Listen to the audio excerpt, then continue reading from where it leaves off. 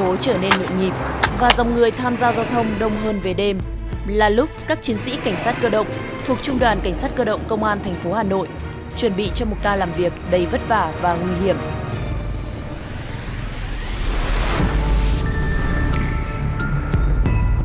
Mỗi tổ trực ở một địa bàn quận khác nhau, bao gồm 4 chiến sĩ cảnh sát.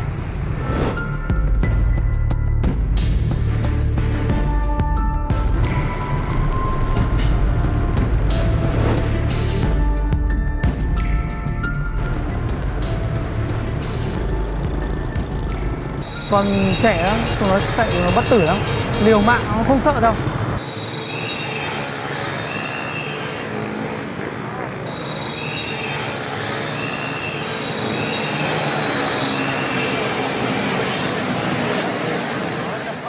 Đây là hiện tượng phổ biến sau 0 giờ đêm tại khu vực quận Hoàn Kiếm.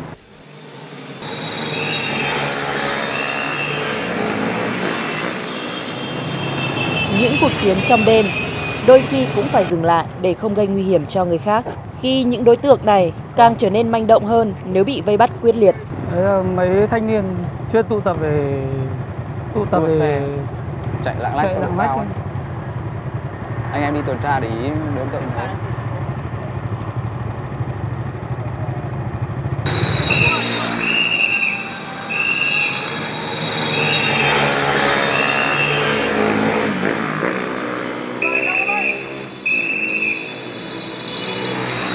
Những thanh niên liều mạng, bất chấp những hành vi sai trái, xông thẳng vào các chiến sĩ trong tổ điều tra. Nguy hiểm cận kề, đòi hỏi các chiến sĩ luôn phải có tinh thần thép. anh em lực lượng tuần tra ban đêm thì uh, phát hiện những đối tượng chạy lạng lách tốc độ cao thì anh em cũng có có ra tín hiệu dừng xe nhưng mà các đối tượng đấy uh, dù là nhìn thấy anh em ra tín hiệu nhưng mà cũng không uh, dừng lại và vẫn tiếp tục phóng tốc độ cao. Khi ờ, qua được anh em lực lượng đang tuần tra thì cũng có có thể quay lại và có những lời lẽ ờ, thô tục và mạt sát anh em. Nhưng mà anh em ờ, lúc đấy cũng giữ được bình tĩnh.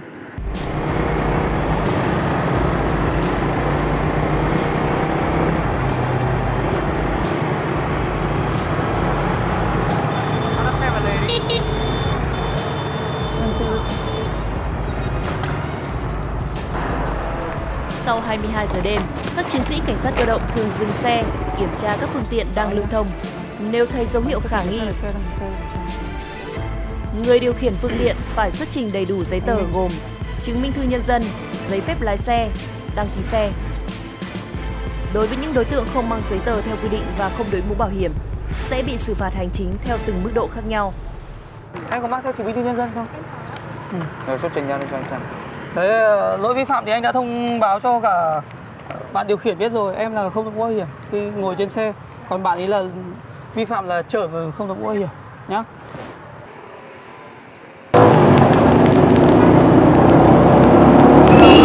Tắt máy đi tắt máy đi.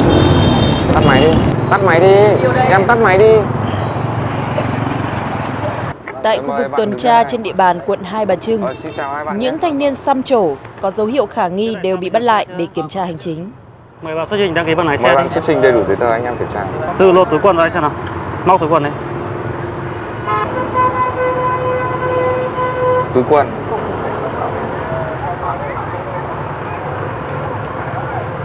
Ví của ai người mở đây. Bỏ hết giấy tờ đây. anh nói là sơn nhá sơn tham gia giao thông thì không đội mũ bảo hiểm nhá. Nghe chưa? Theo nghị định 46 của chính phủ em ờ, vi phạm ờ, luật an toàn giao thông đường sắt và đường bộ. Nhớ chưa? Bây anh linh động xử lý tạo điều kiện.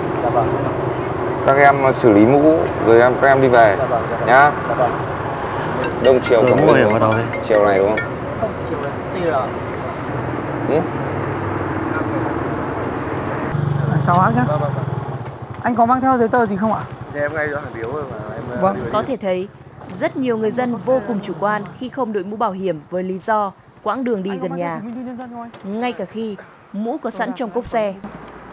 mình có mũ này mình lấy ra đội vào chứ em đi từ ngoài Quang Trung rồi em vừa cất cái xe rồi anh mời anh mở cái cặp của mình nhé em vừa mới cất được cái xe là rồi thôi Anh lấy mũ ra đội vào đi. Vâng. À, gần đây anh em nhắc nhở. Em ngay điều em vừa để xe bãi. Rồi không sao anh. Anh chú ý nhá. Vâng. Đang cao điểm xử lý mũ vi phạm giao thông anh chấp hành vào nhá. Hàng loạt trường hợp không đội mũ bảo hiểm khi liếc thấy các chiến sĩ liền bỏ chạy.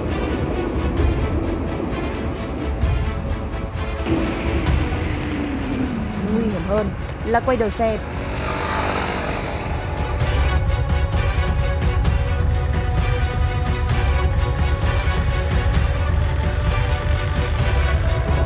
anh lên xe làm sao đấy? Xong rồi sửa xe xong rồi về nhá, muộn rồi không tụ tập ở đây đâu nhá. Tất cả số thanh niên ở đây giải tán đi. Bên cạnh việc xử phạt những người không đội mũ, đó là việc giải tán các đám đông tụ tập để tránh các trường hợp đua xe trái phép xảy ra. Những hoạt động tưởng chừng như đơn giản thế này, nhưng đã góp phần không nhỏ trong việc ngăn chặn và phòng ngừa tội phạm. Tụ tập về về nhá.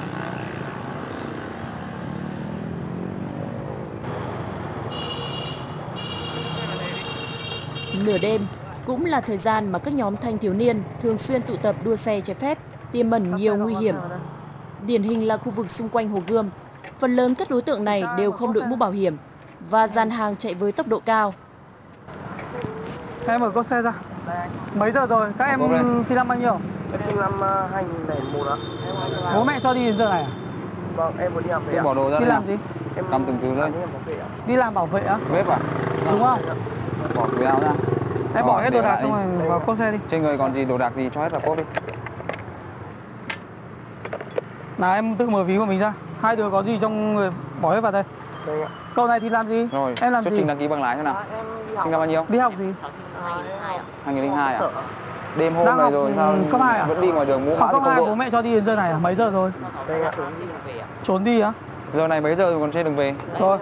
Còn gì nữa không? Không ạ. Với chuyện tử về anh ạ. Bằng lái thì chưa có. Đây. Rồi. Cả hai đứa đều không đội mũ. Các em biết em vi phạm gì chưa? Em biết rồi ạ. Có tụ tập hay chạy lạng lách với các ạ. bạn không? Không mấy các mọi người kia Có chạy theo mấy anh vào đấy không? nếu mà anh ấy thì anh Các em cất check cam đường phố anh. cất đồ của mình đi. Bọn em vừa đi chơi điện tử. Rồi, cất hết đồ của mình đi. Sao em bảo em đi làm về? Em vừa đi làm thôi, em đi chơi điện tử ạ. Em Đi làm đến mấy ờ, giờ? Em đi làm từ 7 giờ đến 3 giờ ạ. Việc răn đe có tác dụng cảnh báo đối với những đối tượng chưa đủ 18 tuổi, ngăn chặn mầm mống tội phạm có thể gây ra những tai nạn nghiêm trọng. Một giờ kém rồi. Một giờ kém ạ. Bây giờ em đang đi về đây anh. Ừ. Bây giờ anh Xe này xe của ai? xe của em này ạ. Đây nếu mà em không điện anh phong ạ. Em có gọi điện được cho người thân không? Thứ nhất là gọi điện để anh xác minh cái xe này nhá. Còn thấy được xe uh, chứng minh thư photo không ạ? Gọi điện cho bố mẹ đi. Em còn chưa em bây giờ mới học cấp 2 mà giờ này em chưa về. Gọi điện cho bố mẹ. Đấy, anh giao giả gọi điện cả hai đứa. Bây giờ chứng minh thư nhân dân không có nhá. Gọi điện về cho cho phụ huynh đi, nhanh lên.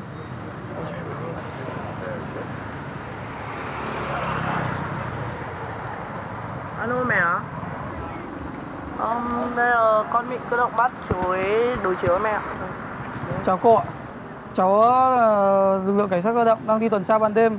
Ờ, các em vì tham gia giao thông là không đội mũ bảo hiểm. Mà bây giờ em là mới học cấp 2 mà cô đã giao xe cho đi như này à? Cô phải kiểm, phải để ý các em bây giờ đang tuổi học ở hành như làm sao mà ra đường muộn thế này được.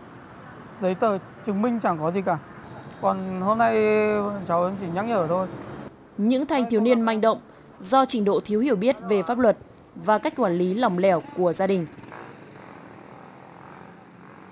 một số các em do sự thiếu quan tâm của gia đình, của quan tâm của bố mẹ. Thứ nhất là không quản lý được con cái mình à, đi lại và đi quá muộn như thế này. Để dẫn đến các em là bạn bè rồi không tụ tập là không tự chủ được và có những cái hành vi là tụ tập là chạy tốc độ cao, lạng lách trên đường, gây nguy hiểm cho xã hội. Các nam thanh thiếu niên thường đi tòa từ ờ, 10 đến 20 xe, đi tốc độ cao. Khi nhìn thấy anh em ờ, lực lượng cơ động làm việc ban đêm thì thường hay một số đối tượng hay giật mình. Nhìn thấy là tự một là phần là quay đầu bỏ chạy. Cái phần quay đầu đấy ảnh hưởng đến tính mạng của các em đầu tiên. Vì là không tự chủ được sẽ người này đâm vào đít người kia gây ra tai nạn giao thông. Cái thứ hai là va chạm đến các người tham gia phương tiện đi bên đường. Lực lượng tuần tra đêm dòng dã trên các tuyến phố. Đối mặt với bao hiểm nguy, đó chính là những đối tượng không chấp hành luật giao thông mà còn cố tình đối đầu và thách thức các chiến sĩ.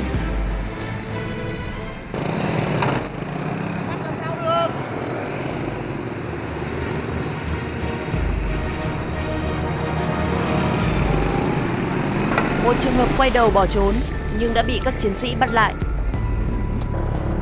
Rồi chào hai anh nhé. Cho anh em em kiểm tra qua hành trình tí. Giảm cái gì đâu. Cho đây anh rơi. Mấy bạn nam có đồ đạc gì trong người không? Để Cho đây anh rơi đi. Em để.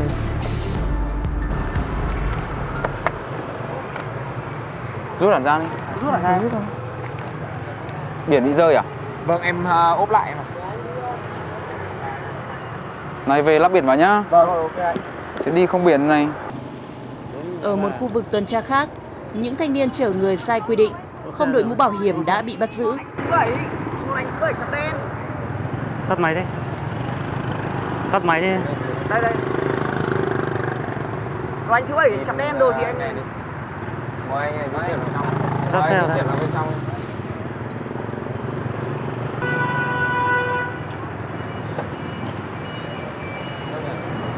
Trên người hai bạn có gì bỏ hết ra cho anh em kiểm tra tí nào. Yêu cầu anh xuất trình đầy đủ giấy tờ anh em kiểm tra. Từ móc cái túi quần Trên ra người đi. có đồ đạc thì bỏ hết đây anh em kiểm tra. Móc cái túi quần ra đi. Anh tra tên gì nhỉ? Những đối tượng này ngay lập tức bị lập biên bản tại chỗ vì lỗi không đội mũ bảo hiểm, trở quá số người quy định và không mang theo giấy tờ xe cũng như giấy tờ tùy thân. Thêm vào đó là xe không có biển số. Làm phải đi theo anh em Có thể thấy, những thanh niên xe này không hề có ý thức chấp hành luật an toàn giao thông. xem ra mấy giờ rồi này. Xe của mình đi con Jeep trắng này đây đúng không? Xe biển?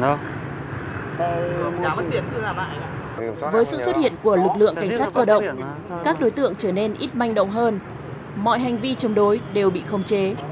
Rồi, anh anh mà có những lời lẽ hành động gì là anh về phường đấy tôi nói với anh luôn như thế nhá tôi nói chuyện với anh như vậy nhá Mời anh đến ra ngoài đi. Hôm nay điều rượu à Đâu ai ngủ vừa ở nhà ra đây. Vừa ở nhà đây xong.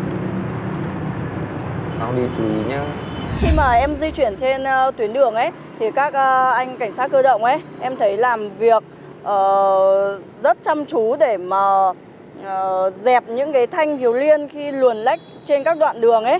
Ờ, như thế em thấy là rất nguy hiểm. Làm việc tối này thì là em nghĩ là mỗi người nên có ý thức một chút ấy thì là để ờ, kể cả bản thân chúng ta cũng như các anh cơ động thì cũng sẽ đỡ vất vả hơn ấy. Em nhận thấy là các chiến sĩ cảnh sát cơ động đi làm nhiệm vụ buổi đêm này rất là nguy hiểm ạ. À, có nhiều khó khăn và áp lực công- cho công việc của các anh ấy. À, em là người dân em rất thông cảm. Với đặc thù làm việc trong đêm tối, đối mặt với nhiều loại tội phạm nguy hiểm, các chiến sĩ cảnh sát cơ động khi làm nhiệm vụ không chỉ dũng cảm mà còn mưu trí khéo léo.